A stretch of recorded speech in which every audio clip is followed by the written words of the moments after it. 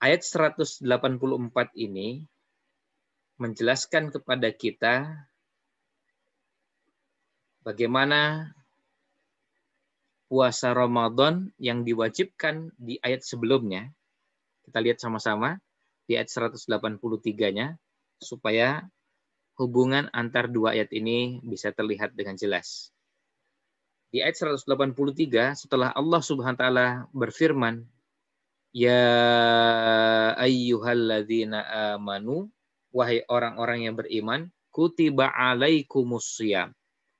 Telah diwajibkan atas kamu sekalian berpuasa kama kutiba alal ladzina min qablikum. Sebagaimana puasa ini juga telah diwajibkan pada orang-orang sebelum kalian. La'allakum tattaqun agar kamu sekalian menjadi hamba-hamba yang bertakwa puasa yang diwajibkan itu kapan dan seperti apa? Berapa lama? Maka penjelasan di ayat ini memberikan gambaran yang sangat sederhana yaitu ayyamam ma'dudat. Hanya beberapa hari. Ayyamam ma'dudat hanya beberapa hari. Maksudnya beberapa hari yang jumlahnya tidak banyak. Ini untuk memberikan gambaran kepada orang-orang yang akan berpuasa bahwa puasa yang diwajibkan ini tidak banyak. Hanya cuma ayam, hanya cuma beberapa hari makdudat yang bisa dihitung. Jadi ketika Allah SWT sudah menjelaskan perintah puasa yang hukumnya wajib, kemudian Allah memberitahukan bahwa itu hanya di ayam makdudat. Ini untuk menunjukkan bahwa ini sedikit. Ini artinya mudah. Sebagaimana yang dijelaskan oleh Syekh As-Sa'di dalam tafsirnya. Bahkan beliau mengatakan pada ayyam ma'dudat beliau mengatakan qalilah. Sedikit fi ghayatis suhulah. Dan ini sangat mudah. Karena cuma beberapa hari. Ditambah lagi famangkana minkum maridhan dan seterusnya. Jadi kalaupun ada yang sudah dapatkan syariat ini yang jumlahnya tidak banyak, kemudian mengalami kesulitan, diberikan keringanan lagi. Jadi betul-betul dimudahkan. Supaya tidak ada lagi yang beralasan bahwa puasa ini berat. Jadi hanya cuma beberapa hari. Jumlahnya hanya ayam beberapa hari yang makdudat yang bisa dihitung. Nah, jadi ayam makdudat ini menjadi penjelasan dari kutiba alaikumus siyam. Dia penjelasan bahwa puasa Ramadan ini diwajibkan dan jumlah harinya hanya ayam ma'dudat. Selanjutnya, setelah ayyam ma'dudat tadi, kemudian Allah SWT menjelaskan. Famankana minkum maridha. Sekarang kita masuk ke ayat 184. Famankana minkum maridah. Maka siapa di antara kalian yang sakit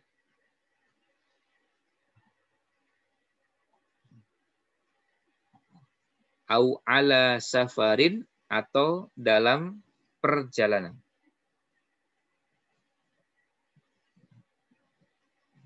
Sakit atau dalam perjalanan. Ini adalah kondisi orang mendapatkan dispensasi atau ruh soh. Jadi kita melihat di sini ada dua kemudahan. Kemudahan yang pertama, ayam ma'dudat. Bahwa puasa Ramadan ini cuma hanya beberapa hari. Dan jumlah harinya tidak banyak. Jumlahnya tidak mencapai sepersepuluh. Dari setahun hanya satu bulan. Di seper dua belas. Kalau cuma seper dua belas sedikit.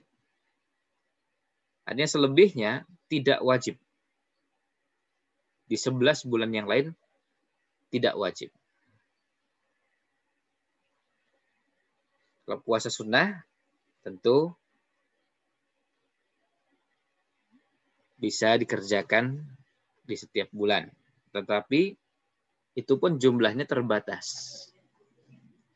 Ini keringanan yang pertama. Keringanan yang kedua adalah famangka namingkum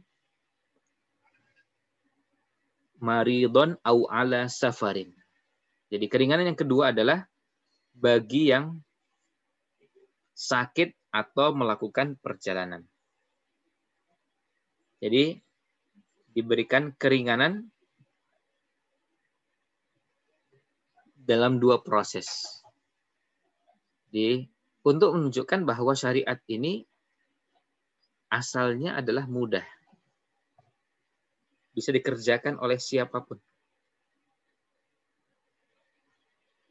Kalau syariat ini berat, maka hanya bisa dikerjakan oleh sebagian. Itu pun sebagian kecil Berbeda dengan kalau syariat itu mudah. Kalau syariat itu mudah, maka semua bisa, kecuali hanya beberapa orang saja yang tidak bisa. Kalau mau kita hitung, yang bisa mengerjakan dengan yang tidak bisa mengerjakan, jelas yang lebih banyak adalah yang bisa mengerjakan. Hanya beberapa orang dan jumlahnya tidak banyak. Termasuk nanti kita akan dapati sakit pun banyak sakit yang masih bisa berpuasa. Ada yang sakit tapi cuma flu, pilek biasa. Kemudian safar juga begitu. Ada yang mau tetap berpuasa karena merasa safarnya tidak berat.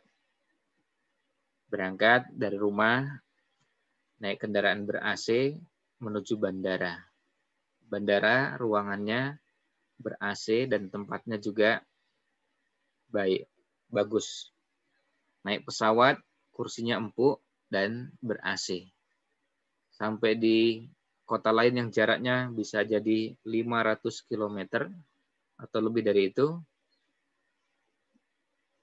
Turun di bandara, bandaranya juga ber-AC dan tempatnya juga bagus kemudian naik kendaraan berikutnya dan mobilnya juga empuk dan ber-AC. Jadi merasa tidak ada yang berat, kemudian mau tetap berpuasa juga memungkinkan. Nah, ini contoh bagaimana yang namanya keringanan itu diberikan pada orang yang memang berhak. Tapi banyak yang masih bisa dan sanggup mengerjakannya tanpa bersusah payah. Tidak merasakan berat.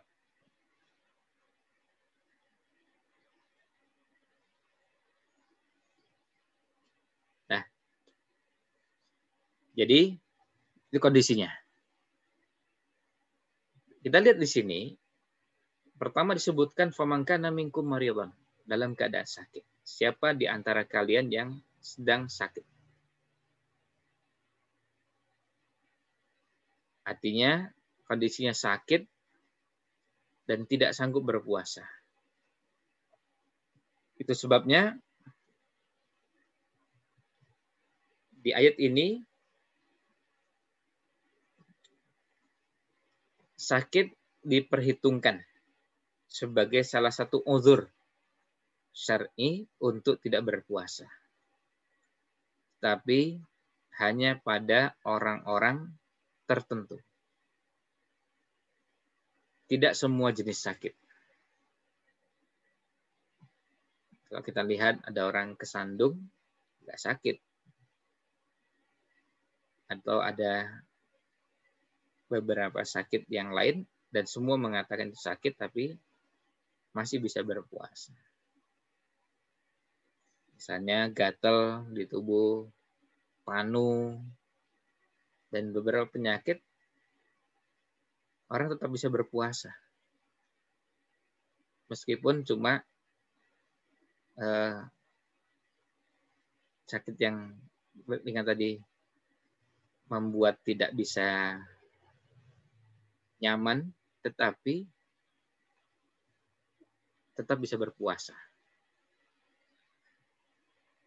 Makanya banyak kalangan para ulama memilih pendapat bahwa yang dimaksud dengan sakit inilah sakit yang tidak bisa berpuasa.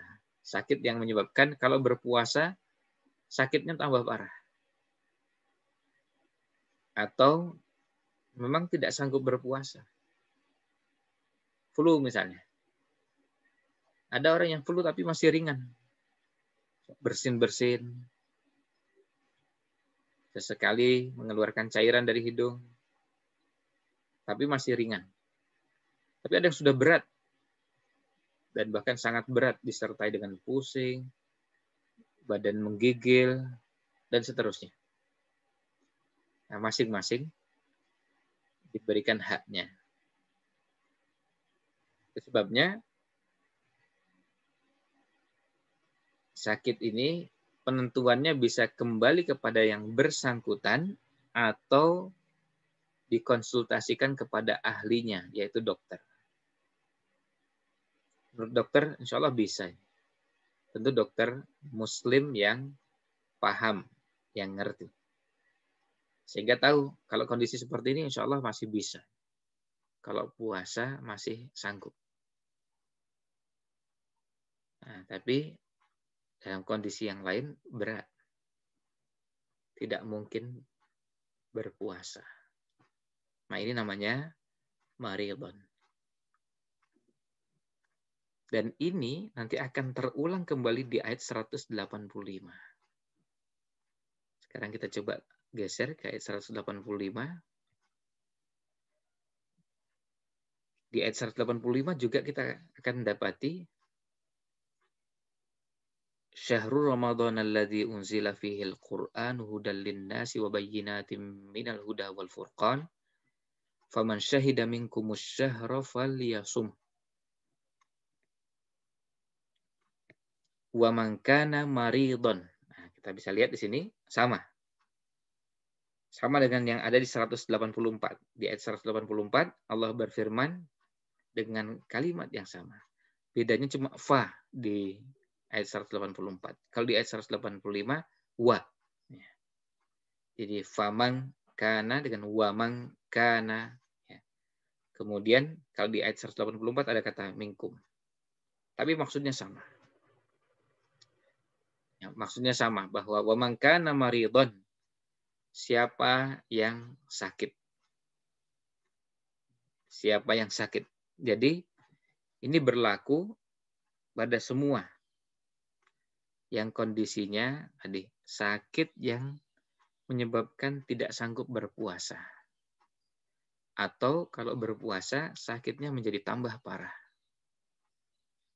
Maka boleh berbuka puasa kemudian mengkodok dengan menghitung iddatun jumlah hari-hari min ayyamin ukhur dari hari-hari yang lain.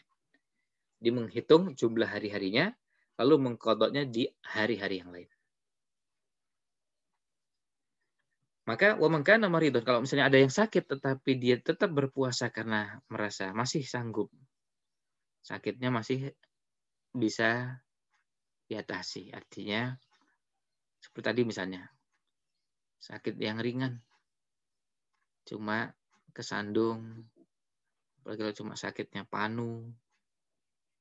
Nah, sakit seperti ini masih bisa puasa.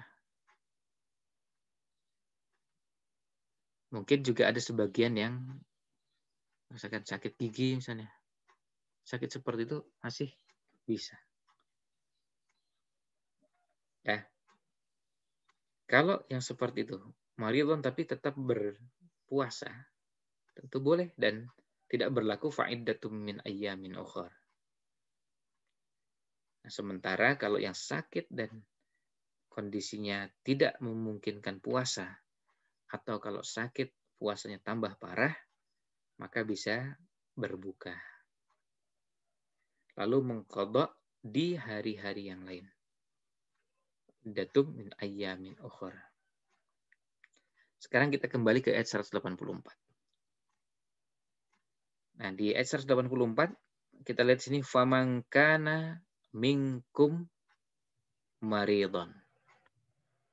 Famangkana maka barang siapa minkum di antara kalian yang maridon dalam keadaan sakit au ala safarin atau dalam perjalanan. Kemudian kondisinya menyebabkan tidak bisa berpuasa. Karena berat. Sakitnya berat sakitnya parah. Maka yang bersangkutan boleh berbuka kemudian mengkodok dengan menghitung faidatun. Menghitung iddah. Jumlah. Maksudnya jumlah min jumlah hari-harinya dengan mengganti di iddatun min ayyamin ukhra dengan mengganti jumlah hari-hari ketika berbuka mengkodoknya min min ukhur pada hari yang lain. Maksudnya hari lain selain hari wajib berpuasa yaitu Ramadan. Mengapa demikian? Karena ibadah puasa Ramadan ini termasuk ibadah puasa yang waktu pelaksanaannya terbatas. Dalam usul fikih, wajib itu ada namanya wajib mudoyak yang waktu pelaksanaannya terbatas dan wajib muwassa yang waktu pelaksanaannya lapang. Contoh yang waktu pelaksanaannya sempit adalah Ramadan. Jadi waktu pelaksanaannya sudah ngepas begitu, nggak ada waktu cadangan. Sehingga kalau satu hari saja berbuka puasa, berarti langsung mengkodok. Mengkodok itu artinya mengerjakan ibadah di luar waktunya.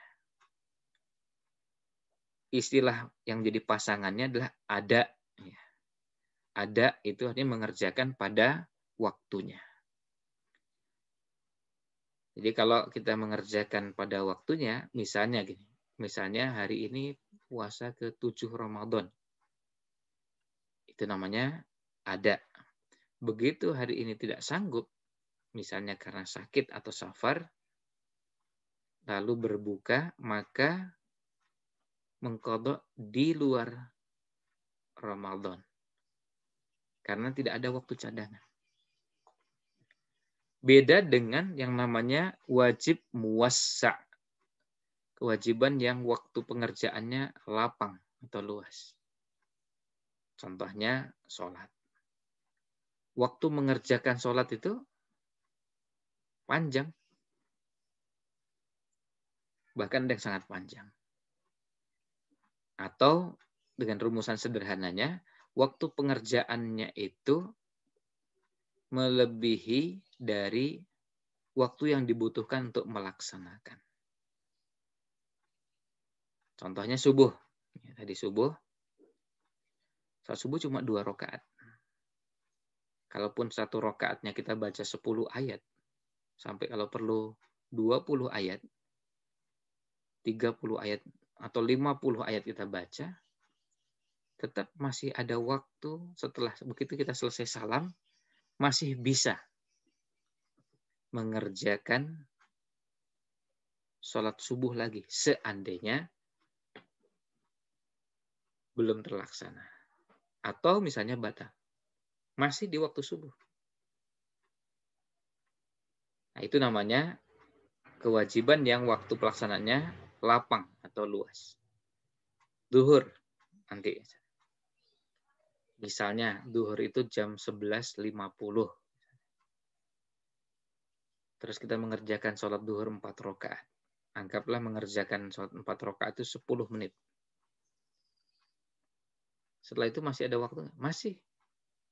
Kalau kita mengerjakannya jam 12 lewat 20, masih dianggap mengerjakan sholat duhur di waktunya. Jam 12 lewat 25, jam 12.30, jam 12.40, jam 1 atau jam 13, jam 13 lewat 10, dan begitu seterusnya masih mengerjakan di waktunya. Masih di waktu duhur. Tidak dikatakan mengkodok. Karena masih mengerjakan di waktunya. Nah, kalau sudah lewat itu nanti namanya eh, itu baru namanya mengkodok.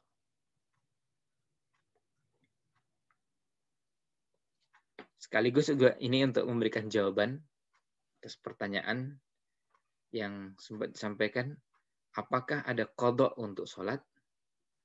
Jawabannya ada. Nah, untuk memahami itu, biar gampang adalah memahami makna ada dan kodok itu apa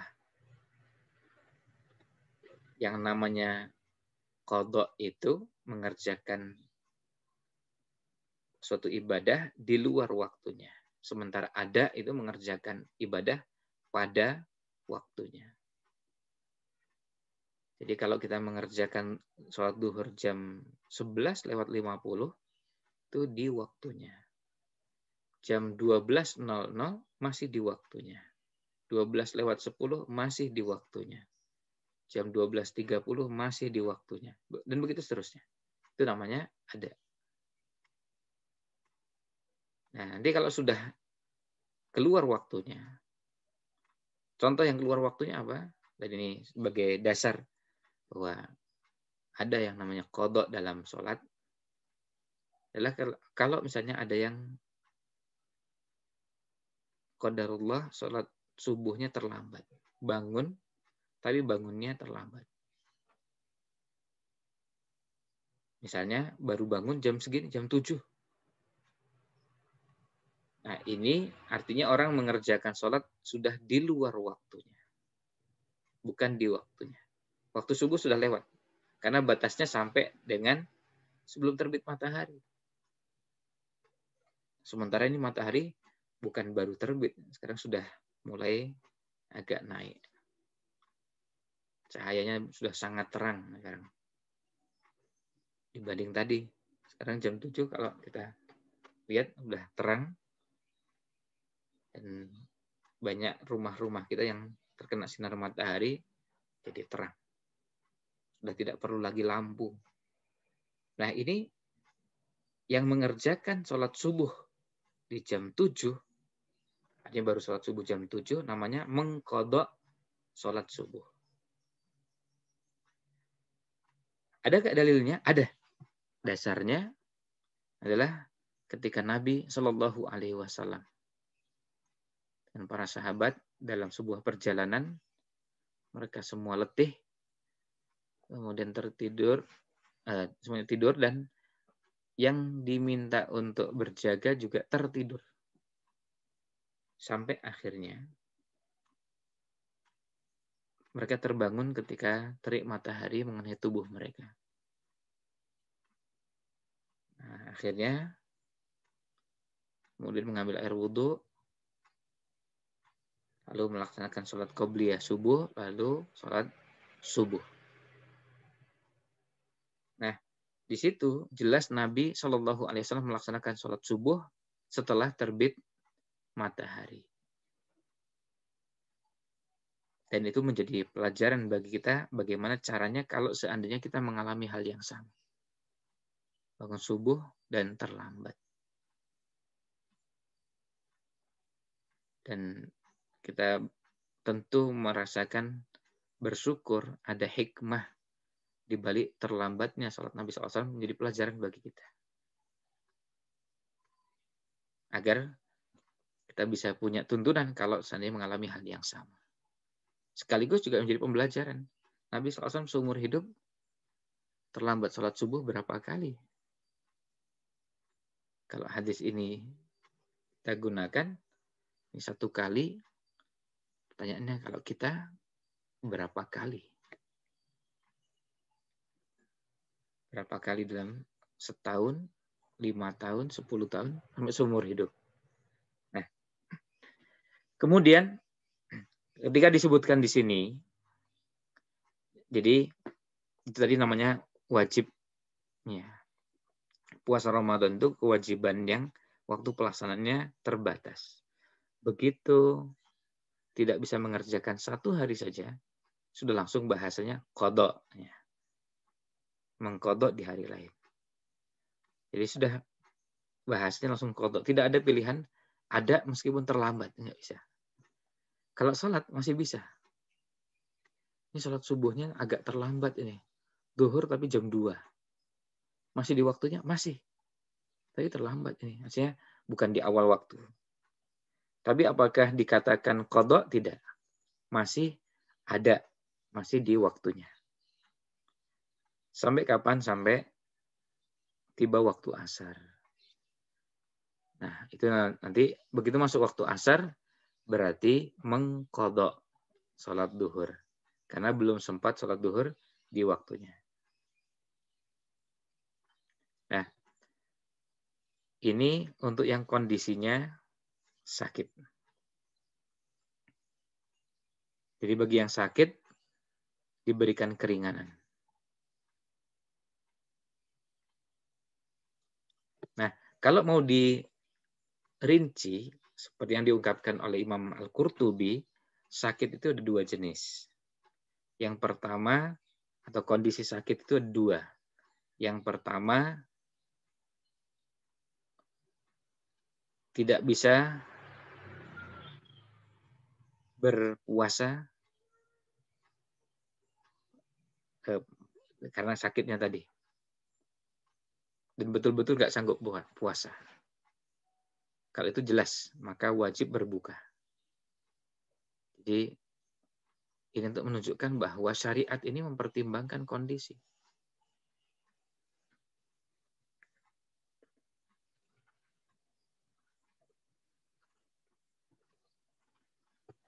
Nah, mempertimbangkan kondisi. Kalau memang betul-betul nggak sanggup berpuasa, nggak boleh puasa. Kalau ini berbahaya bagi dirinya, dan betul sama sekali nggak sanggup puasa, maka ya sudah nggak puasa. Bahkan kata yang Qurtubi nggak sanggup berpuasa sama sekali, fa'alaihil fitru wajiban. Maka dia wajib berbuka. Yang kedua, dia sanggup berpuasa tapi kondisinya berat. Dan ada masyakoh. Ada kondisi berat. Maka ini dianjurkan ya, dianjurkan berbuka. Dan dianjurkan tidak puasa dalam kondisi seperti ini.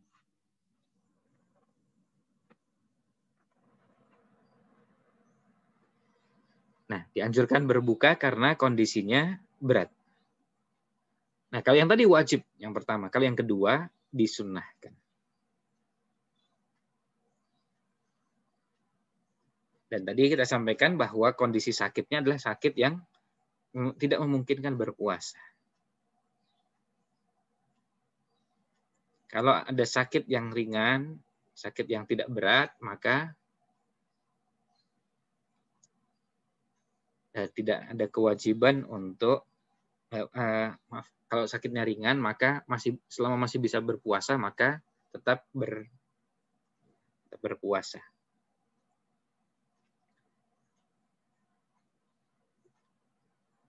Kalau ada pendapat yang diriwayatkan dan menyebutkan bahwa bisa berbuka dalam kondisi sakit apa pun, tentu pendapat ini pendapat yang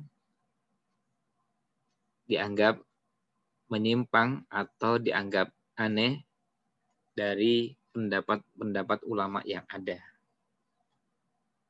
Misalnya, eh, pokoknya sakit, sakit apa pun, meskipun cuma kena duri, kan sakit ya. Nah, berarti boleh buka puasa. Nah, pendapat seperti ini dianggap pendapat yang eh, tidak tepat karena kalau begitu batasannya, maka bisa jadi batasan sakit ini tidak ada batasan yang baku dan jelas. Apalagi kalau ditambah lagi eh, sakitnya bukan hanya fisik tapi yang non fisik. Nah, saya sakit hati, saya kecewa, saya eh, marah, jengkel, kemudian saya sakit hati, tersinggung dengan ucapannya, kan sakit juga ya. Kalau mau dibegitukan nanti akan ada hal-hal yang tidak masuk kategori sakit secara fikih. Nah, ini tidak berlaku. Ya, sakit seperti itu tidak berlaku. Jadi sakitnya adalah sakit yang menyebabkan orang terpaksa harus berbuka karena berat. Dan jadi bisa dikembalikan kepada yang bersangkutan yang lebih paham kondisinya. Ada orang kondisinya sakit flu, ada yang bisa mengukur kalau flu seperti ini saya masih kuat puasa. Kalau di atasnya lagi masih kuat, di atasnya lagi saya nggak sanggup. Nah itu yang paham tubuhnya, yang paham dirinya, atau minta saran dokter. Nah di ayat ini ketika disebutkan Famangkana minkum maridhan au ala safarin ini artinya diberikan keringanan bagi dua orang ini, sakit atau safar. Boleh berbuka, lalu kemudian tinggal menghitung iddah, jumlah hari-hari berbuka, lalu menggantinya min min ukhar dari hari yang lain. Bisa diperhatikan di sini, kata yang digunakan adalah ayam, dari kata yaum. Karena puasa itu acuannya adalah hari. Sehingga kalau orang batal puasanya atau tidak berpuasa, maka mengkodoknya juga hitungannya hari. Bukan jam, apalagi menit dan detik. Jadi hari.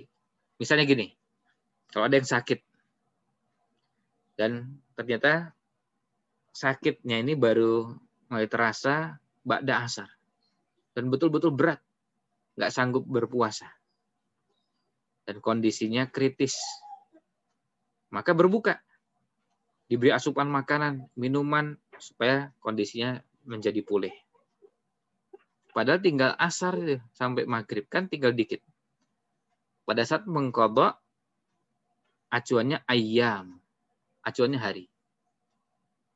Jadi berapa? Ya hari.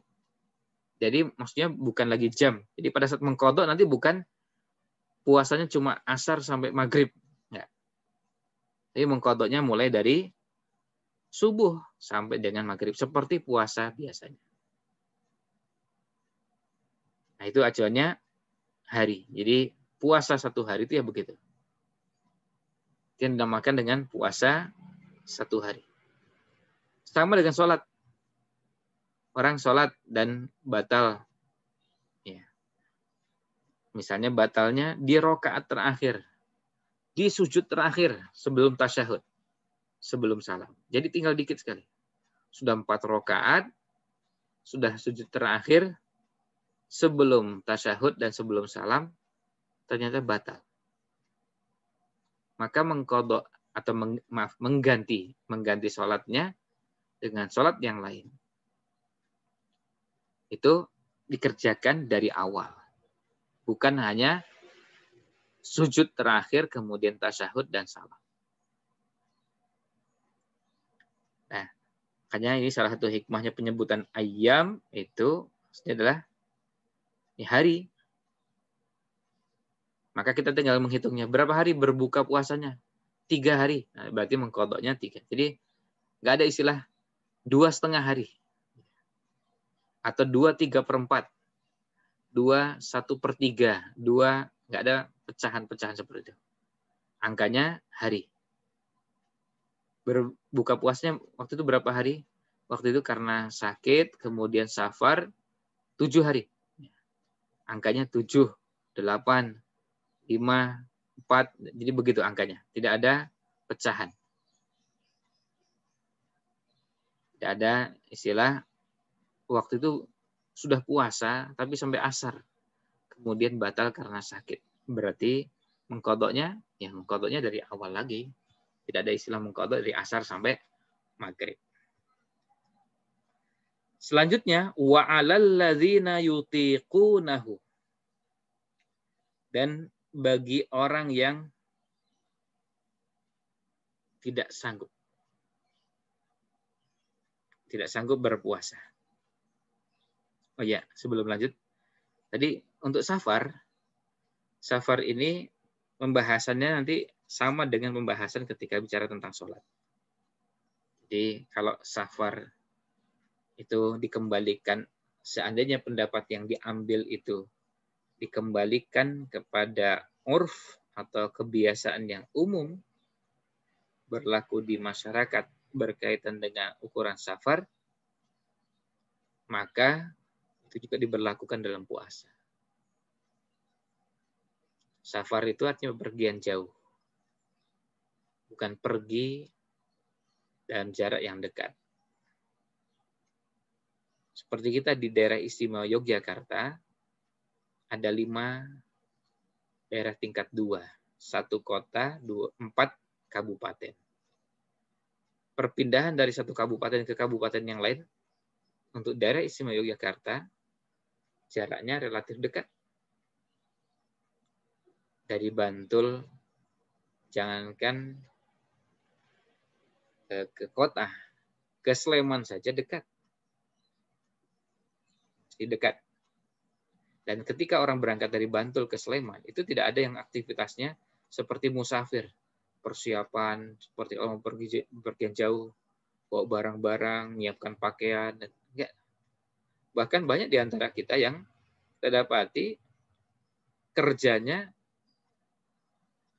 antar kabupaten ini. Ada yang tinggal di Bantul, kerjanya di Sleman ada yang tinggal di Kulon Progo, tinggal eh, pekerjanya di kota, dan begitu seterusnya. Nah, itu semua bukan masuk kategori safar. Selain dari sisi jarak memang relatif dekat, yang kedua masyarakat juga tidak ada yang menganggap itu safar. Dan itu bisa kita lihat juga dari perilakunya. Dari caranya melakukan aktivitas. Tidak ada yang berangkat dari tadi, berangkat dari Sleman pergi ke Bantul seperti kalau mau safar dari Sleman pergi ke Jakarta. Beda. Kalau mau ke Jakarta, persiapannya nyiapkan pakaian, bahkan sampai barang-barang kecil. Sabun, pasta gigi, sikat gigi, dan seterusnya disiapkan. Ya. Disiapkan semua, sampai yang kecil-kecil disiapkan. Sementara kalau dari Sleman ke Bantul, sama sekali nggak ada persiapan itu. Tanpa persiapan seperti itu. Bahkan ada yang persiapannya dengan sangat cepat. Berangkat yuk. Yuk berangkat. Langsung berangkat. Jadi ngobrol-ngobrol terus kita berangkat berangkat. Nggak pakai persiapan yang matang. Karena cuma jarak yang berdekatan tadi. Nah, beda dengan kalau dari dari misalnya dari Sleman lalu pergi ke Bandung. Dari Sleman pergi ke Surabaya. Sleman pergi ke Nah, itu ketika berangkat sampai ke Surabaya bisa kita lihat persiapannya. Bukannya persiapan paket tapi persiapan-persiapan seperti layaknya musafir pada umumnya. Nah, itu yang dinamakan dengan safar. Jadi ala safarin itu artinya dalam perjalanan. Dalam perjalanan. Jadi artinya dalam perjalanan itu ketika berangkat dari satu tempat ke tempat yang lain. Demikian pula ketika pulangnya. Karena belum sampai. Belum sampai rumahnya. Nah, selanjutnya wa 'alal yutiqunahu dan bagi orang-orang yang tidak sanggup. Maksudnya tidak sanggup berpuasa. Yang berat. Wa 'alal. Yang merasakan sangat berat, nggak sanggup puasa.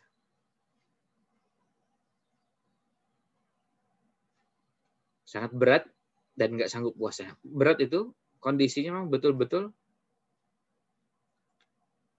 dia nggak sanggup. Bisa karena faktor usia atau faktor kesehatan.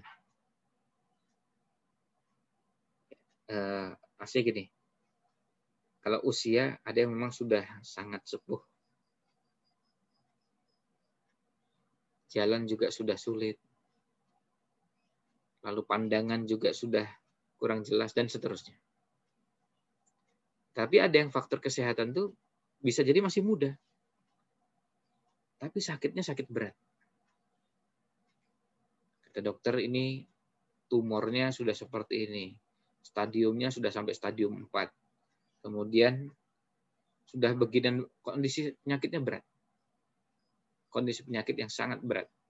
Dan sakit yang eh, yang seperti ini bukan sakit yang masih di, bisa diharapkan kesembuhan. Jadi kalau menurut perhitungan manusiawi tentunya, yang kondisi seperti ini sudah nggak bisa sanggup berpuasa lagi.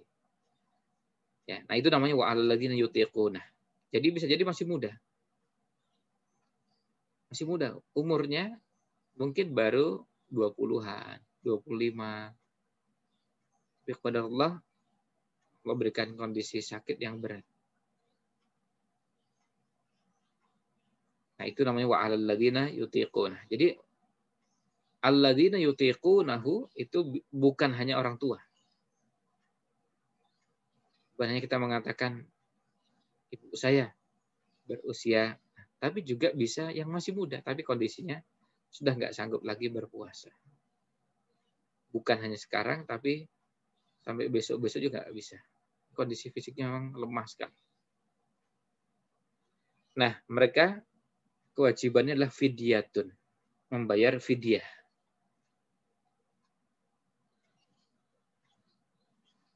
Fidyah ini ukurannya berapa? Ukurannya adalah satu mud atau dua mud. Nah, ini melihat perbedaan pendapat yang dikemukakan oleh Imam Qurtubi. Sebagian merasa bahwa yang lebih tepat adalah dua mud. Mud ini adalah takaran alat ukur yang asalnya adalah telapak tangan Rasulullah Shallallahu Alaihi Wasallam, telapak tangan kanan dan kiri. Itu itu yang dinamakan mud. Nah, tapi dalam perkembangannya kemudian orang mencoba untuk mengkonversi. Sebab ketika menggunakan tangan Rasul Shallallahu Alaihi Wasallam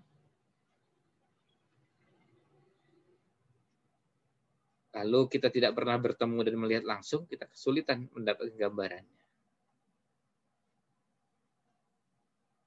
Nah, eh, kalau kita menggunakan istilah dua mood berarti mengetahui mood ini perlu. Mengetahui mood itu penting. eh, mohon maaf pagi ini kebetulan mood yang ada di rumah sedang dipinjam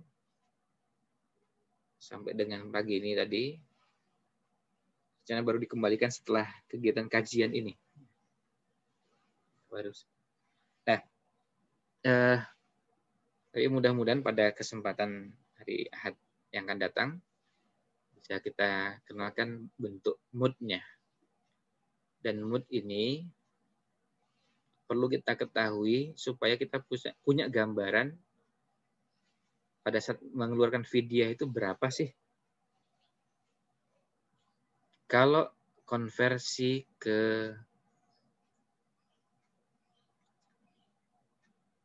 uh, ukuran yang lain yang lebih mendekati adalah dengan liter, bukan gram atau kilogram.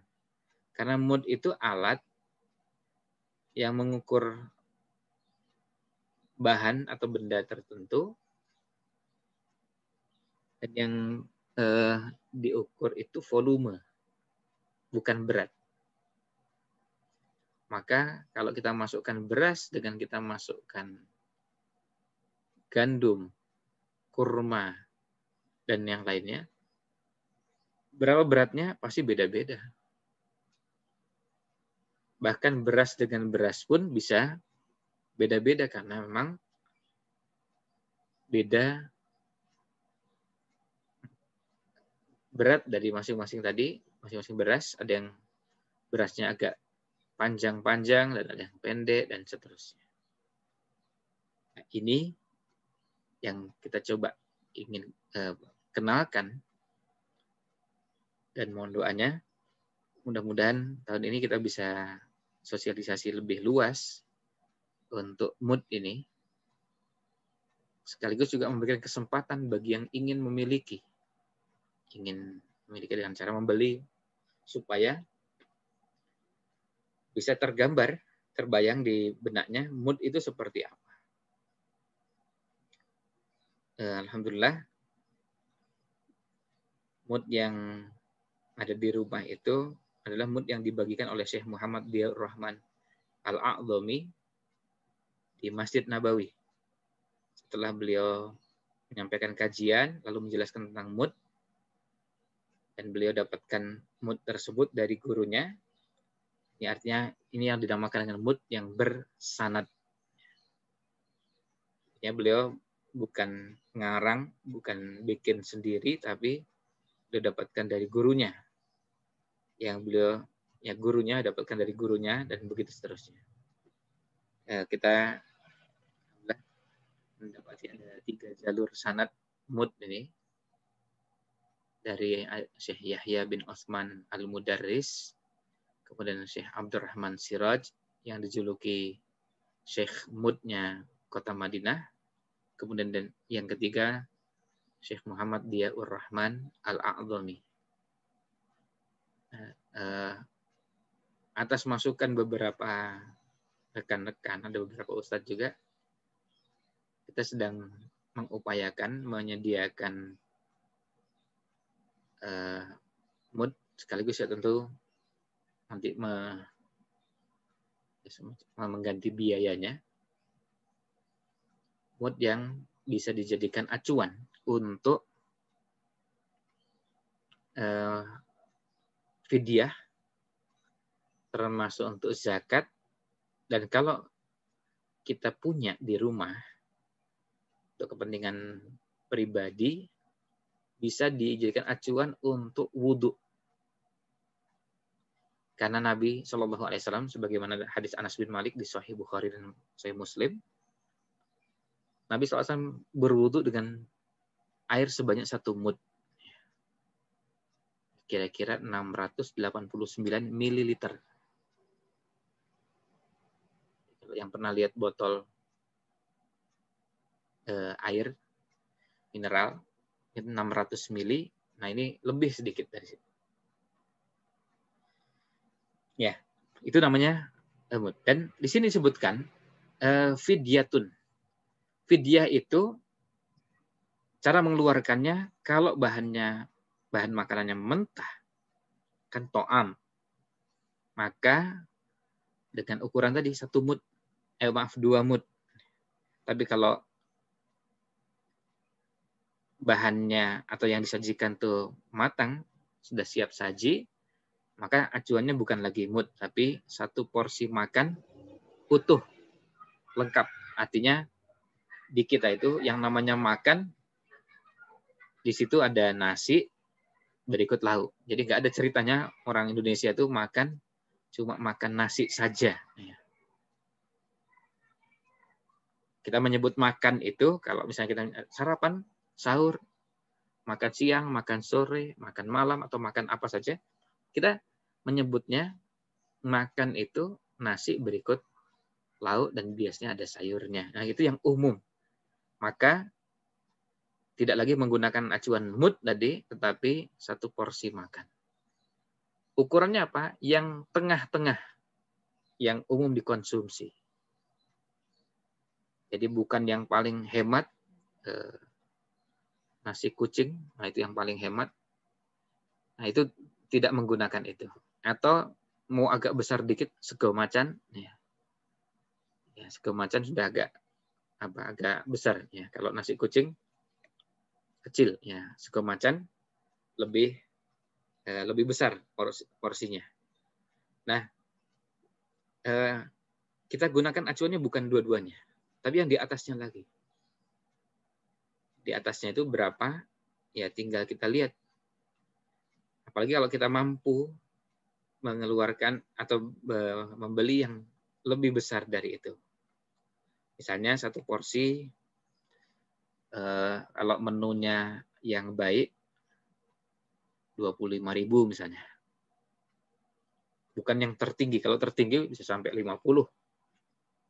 Lauknya lengkap dengan misalnya dua jenis lauk, ada sayur, ada buah, ada kerupuk, ada air mineral, ada nah itu ada yang lengkap seperti itu. Kalau kita mau ambil tengah-tengahnya boleh. Dan di sini disebutkan To'am untuk miskin. Dibagikan kepada fakir miskin. Dalam Quran penyebutan miskin itu maknanya bisa untuk fakir dan miskin. Kalau disebutkan miskin saja berarti berlaku untuk fakir dan miskin.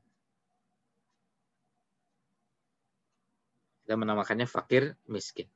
Jadi kita berikan pada fakir miskin. Tidak boleh untuk buka puasa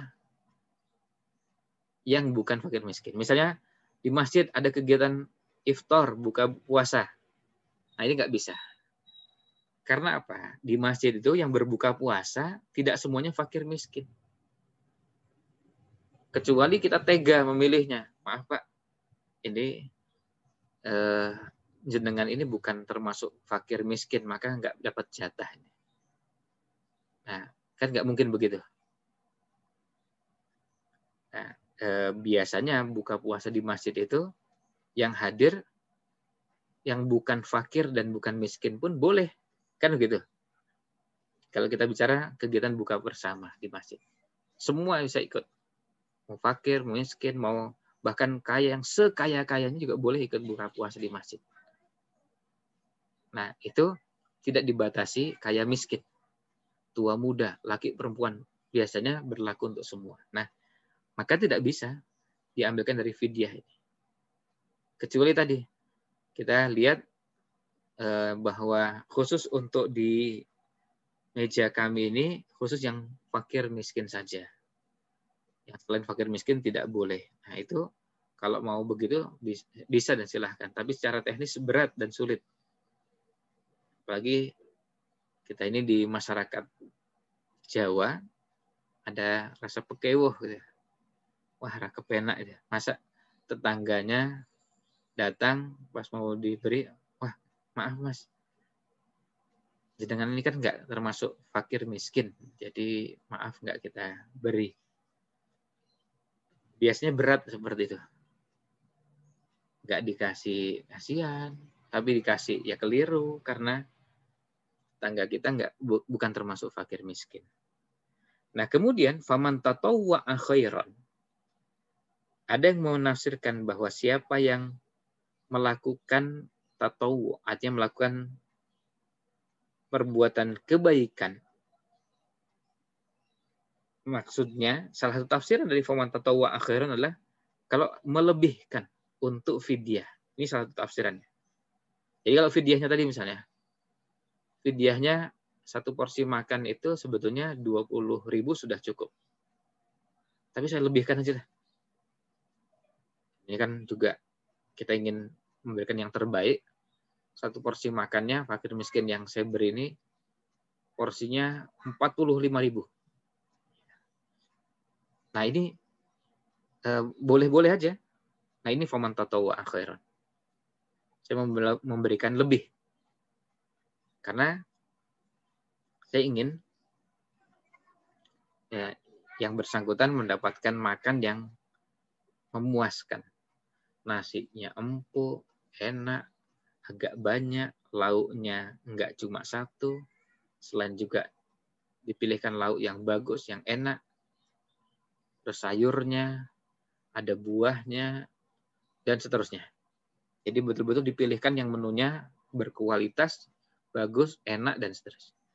Itu kalau dihitung-hitung, kalau porsi kalau dengan biaya 20 ribu nggak cukup kayaknya. Bagi ada kurmanya dan dipilihkan kurma yang baik, bukan kurma yang murah. Demikian pula memilihkan sayur, lauk, dan seterusnya dipilihkan yang betul-betul baik, termasuk nasinya. Maka biayanya bisa jadi lebih dari 20 ribu. Dinaikkan jadi 30 ribu, nah itu tatawwa'an khairan. Fahuwa khairullah, maka itu lebih baik baginya. Itu salah satu tafsiran dari faman tatawwa'a khairan. Maka kalau ada yang membayar fidyah, tanya berapa ukurannya kalau porsi makan, ya silahkan. Kita berikan panduan tengah-tengahnya kira-kira berapa. Tapi kalau mau lebihkan, boleh. Kalau mau lebihkan, jadi porsi yang tadi 20 ribu dinaikkan jadi 35, supaya menunya bagus atau bahkan lebih dari itu, ini tidak dilarang. Bahkan ini sesuatu yang baik ketika ditujukan kepada fakir miskin, mereka mendapatkan yang baik. Atau misalnya beras, kalau itu bahannya mentah, beras, tapi beras yang kita berikan adalah beras dengan kualitas terbaik. Kalau beras dengan kualitas sedang, itu sebenarnya sudah boleh. Bukan yang paling buruk, bukan. Atau paling murah, tapi sedang itu sudah boleh. Tapi kalau mau memberikan yang terbaik, maka itu ini lebih baik. Karena kita ingin fakir miskin yang mendapatkan juga merasakan beras yang enak. Berasnya eh, lembut, berasnya ya bukan beras yang keras ya. Pulen. Nah, eh, kemudian terakhir wa antasumu khairul lakum. Dan berpuasa itu lebih baik bagi kalian yang kuntum ta'lamun jika kalian mengetahui. Beberapa ulama mengatakan bahwa ayat ini memberikan isyarat kepada kita bahwa awalnya eh, orang boleh punya pilihan berpuasa atau fidyah.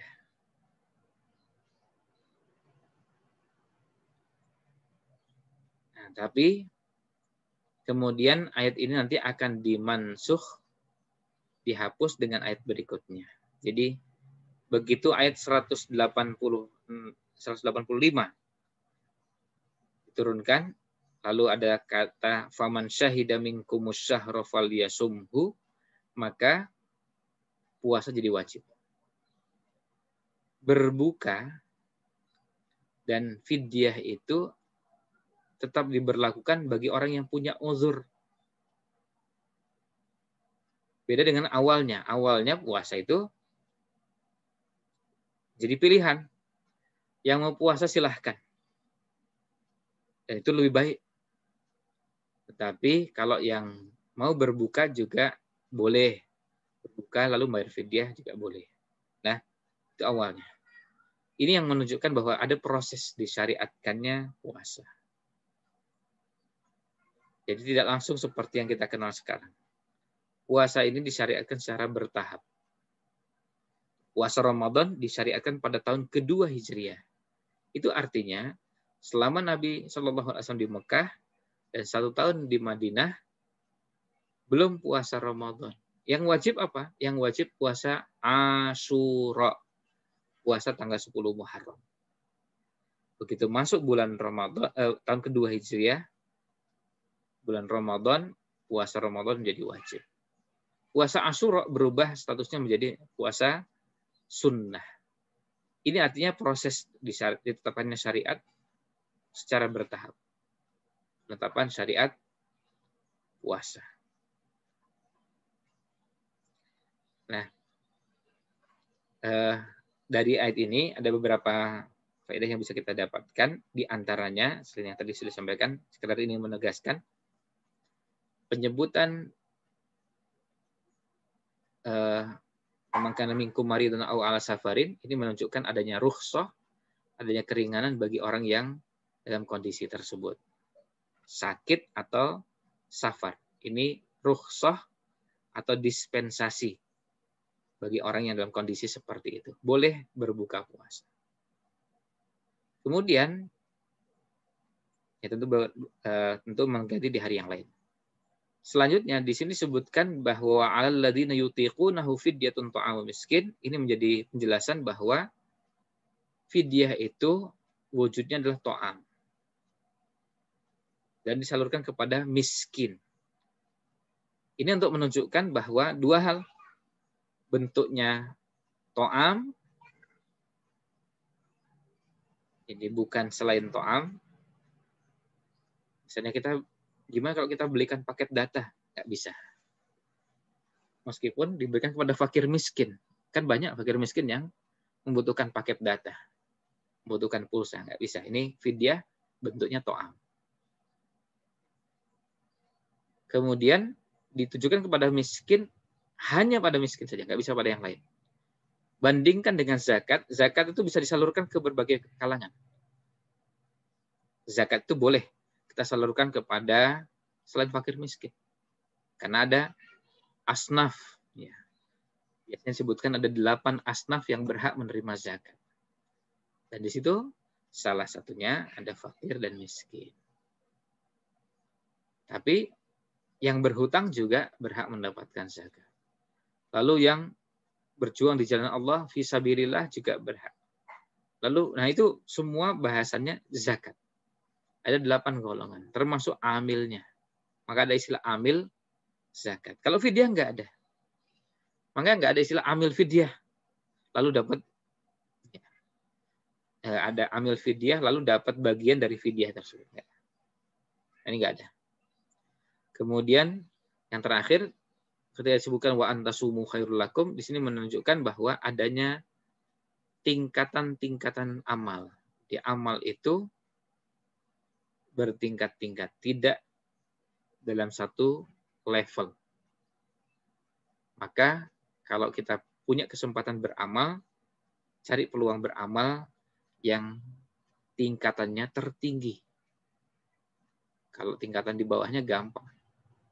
Kalau tingkatan yang tertinggi itu kita berpeluang untuk dapatkan kemuliaan, pahala lebih dari yang tingkatnya di bawah. Demikian ulasan untuk ayat 184 surat uh, Al-Baqarah ini. Mudah-mudahan ada manfaat yang bisa diambil. Mohon maaf jika ada yang kurang berkenan. Wallahu a'lam. Wassalamualaikum warahmatullahi wabarakatuh.